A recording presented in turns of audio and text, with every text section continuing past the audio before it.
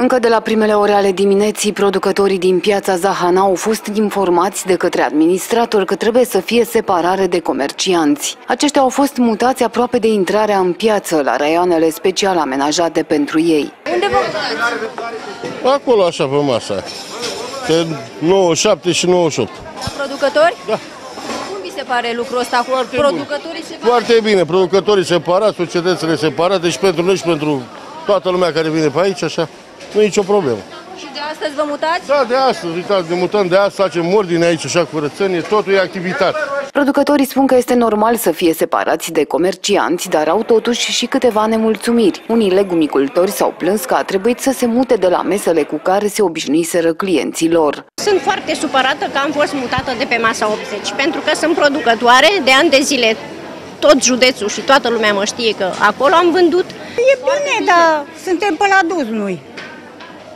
Dar e bine, ca să se vadă care e producător și care e, că cam diferă, să știi. Că noi și muncim și alea, dar până la urmă să știți că mulți dintre noi au venit și au dat marfa pentru că ei au avut unde să puie. Și producătorul n-au avut unde să puie, mamai. Începând de, de astăzi, uh, comercianții, persoane fizice, producători vor fi separați de agenții economici într-o suprafață de aproximativ 40% din, uh, din suprafața totală a uh, spațiului destinat pieței.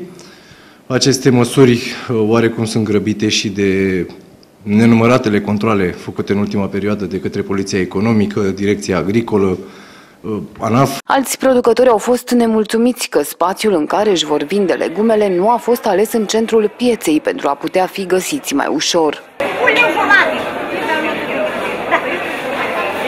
E, dar nu, mai trebuie. Da.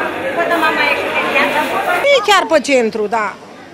Cumpărătorii ne știu și vin tot la noi. Unde ați fi vrut să aveți un loc? Unde mai pe centru era mai bine și noi, nu? Că poate meritam, nu? Vă dați seama că există nemulțumiri, pentru că fiecare și-a făcut un vad, este cunoscut într-o anumită locație, la nivelul fiecarei piețe sunt, sunt discuții în acest sens cu, cu comercianții, atât persoane juridice cât și persoane fizice. Și în această dimineață o echipă s-a aflat în control la administratorul pieței Zahana. De verificări nu au scăpat nici producătorii. Comisii mixte au mers acasă la aceștia pentru a vedea suprafețele cultivate. Au venit acasă, au văzut ce avem în grădină, asta. Cine a venit acasă? Au venit acasă un domn de la oraș, nu știu, de la direcția agricolă sau cum e, și uh, cei de la primărie, care sunt în măsură să vadă ce...